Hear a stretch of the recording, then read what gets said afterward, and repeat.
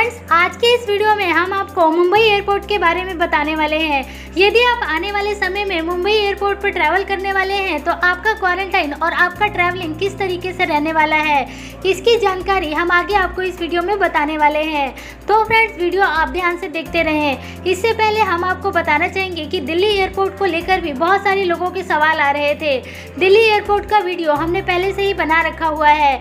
आप हमारे चैनल पर जाकर वो वीडियो देख सकते हैं। इसके अलावा आप स्क्रीन पर आ रहे आई के बटन पर भी क्लिक करके दिल्ली एयरपोर्ट का वे वीडियो देख सकते हैं। फ्रेंड्स बात करते हैं मुंबई एयरपोर्ट की। तो मुंबई एयरपोर्ट पर आने वाले समय में बहुत सारे यात्री ट्रैवल करने वाले हैं। क्योंकि ज़्यादातर फ्लाइटें इस समय जो आने वाली है, वो केरला को छोड़कर अब मुंबई एयरपोर्ट और दिल्ली एयरपोर्ट पर ही लैंड करेंगी।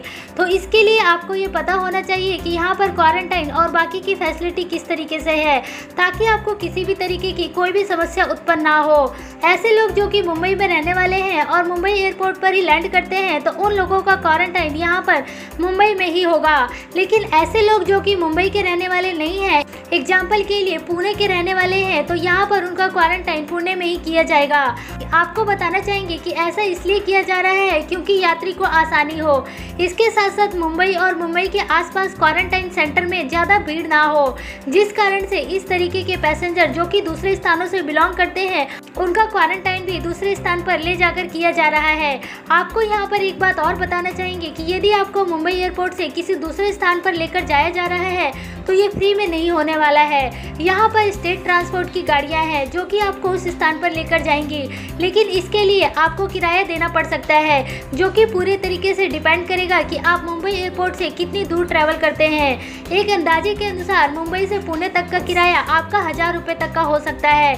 इन सब के अलावा क्वारंटाइन को लेकर कुछ रूल्स हैं, जैसे कि क्वारंटाइन सात दिन का रहने वाला है।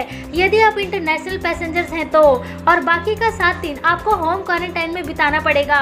इन सब के अलावा यदि आप प्रेग्नेंट महिला हैं या आप किसी बच्चे के साथ ट्रैवल कर रही हैं या फिर आप किसी बीमार व्यक्ति के साथ ट्रैवल कर रहे हैं तो ऐसे में आपका क्वारंटाइन माफ़ किया जा सकता है। उसके लिए पूरे तरीके से डिपेंड करेगा राज्य सरकारों के नियम के आधार पर। तो फ्रेंड्स ये थी कुछ ज़रूरी बातें। यदि आप आने वाले समय में मुंबई एयरपोर्ट पर ट्रैवल करना चाहते हैं तो आपको ये सारी बातें पता होनी चाहिए। उम्मीद करते हैं कि आपको इस वीडियो से कुछ लाभ होगा। ऐसे ही और जानकारी के लिए आप हमारे चैनल को सब्सक्राइब करके रखिए और वीडियो उन लोगों तक ज़रूर शेयर करें, जो कि आने वाले समय में मुंबई एयरपोर्ट पर आते हैं, ताकि उनको आसानी रहे।